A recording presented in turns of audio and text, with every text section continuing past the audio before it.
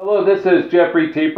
Welcome back to our YouTube channel, Service Management Leadership. I want to discuss a quotation I found, and I don't know who the author is, so I apologize for attribution. Please contact me and I'll correct the error if, uh, if this is yours. It go, this quote goes, and this is an IT service management centric quote. When you wrap a product with processes, you get a service, right? Services uh, are made up of processes wrapped around a product. A service can exist without a product, right? But a product cannot exist without a service.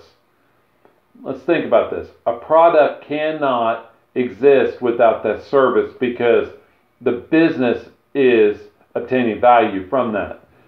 But a service can exist without a product. There are many types of services that have no product.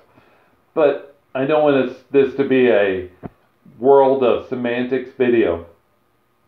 But the basic thing I want to communicate is how we how we convey value to our business, how we produce value to our business is through services.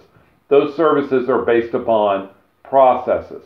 And so those processes and those services may include a product but your product needs those services for your business to have value.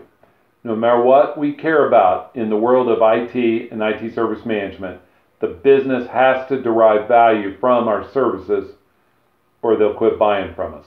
This is Jeffrey Tefertiller. Thank you for joining us on our YouTube channel. Please like or share the video, subscribe to our channel, leave me feedback below. Feel free to connect with me on LinkedIn. Hope you have a great, great day. Bye.